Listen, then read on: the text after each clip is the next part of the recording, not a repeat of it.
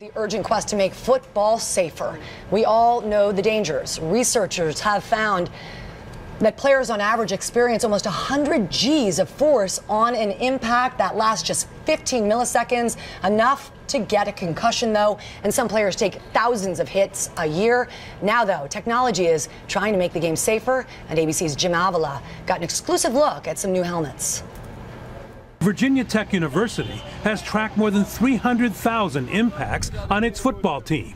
It's the epicenter for research into safer helmets. On third and long, blitz comes in. Using a simple but critical test.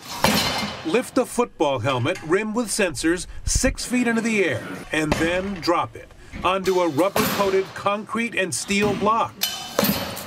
Virginia Tech says its test of football helmets mimics what players can face on the field.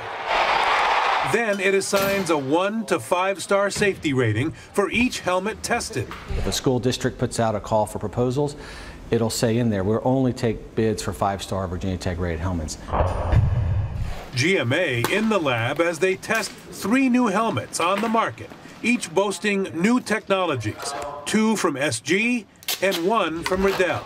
The SG helmet's lighter, weighing half as much as other helmets. The shell is carbon fiber and Kevlar, so it's super light.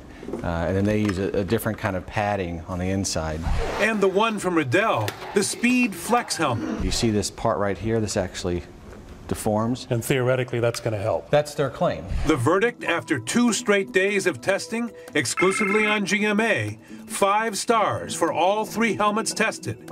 Virginia Tech finding Riddell's new flex design, reducing head acceleration better than any helmet they've ever tested.